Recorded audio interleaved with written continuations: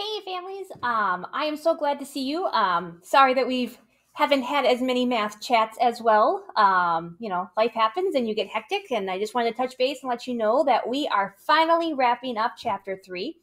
Uh, so next week, uh, I'm shooting for Thursday. I, there's been some schedule changes with that last week with that cohort A and B, so it's kind of moved a little things around. So um, it, I'm hoping for next week Thursday um, for that test. As always, if your child prefers the option to take it in person, they have that following Monday to take it in person when they're back in school.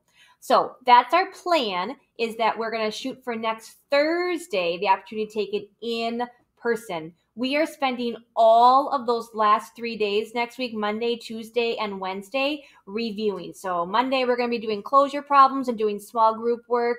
Tuesday, we're going to be playing a review game. Wednesday, they have a they have an opportunity for a team test. Thursday, I'm shooting to be able to take that test in person and virtual if they would like that option. Um, I will be sending out a Google form to all of my kids, just letting so I know where they're going to be, what they're going to be doing, etc.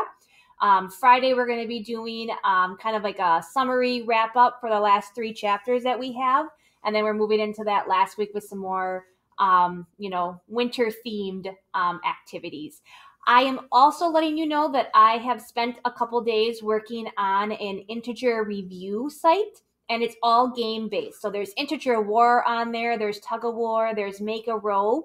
Um, it's a really nice interactive site um, for you and your child to sit down and practice. They can practice for the sibling, all the directions, the cards, the dice. It's all virtual. It's all right there on the screen. So you don't have to go and find any of these items. It's a fantastic way to review and make sure that they know how to add, subtract, multiply, and divide those integers.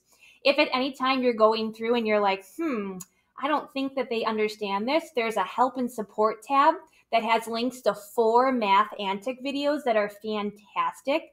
Simple, easy to follow, understand, great visuals that will help solidify and wrap up all of those understandings that we've done with those integer rules.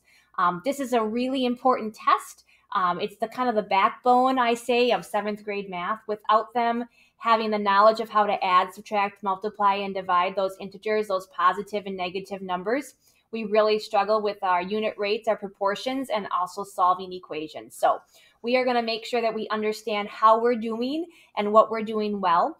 Uh, I'm also going to email out on Friday some other links to some Gimkits and some Quizlets if they want some, you know, or like bare number task review. But we've been um, reviewing every single day. Um, they asked to play Gimkit. So if you ask them about Gimkit, they'll share a little bit about it.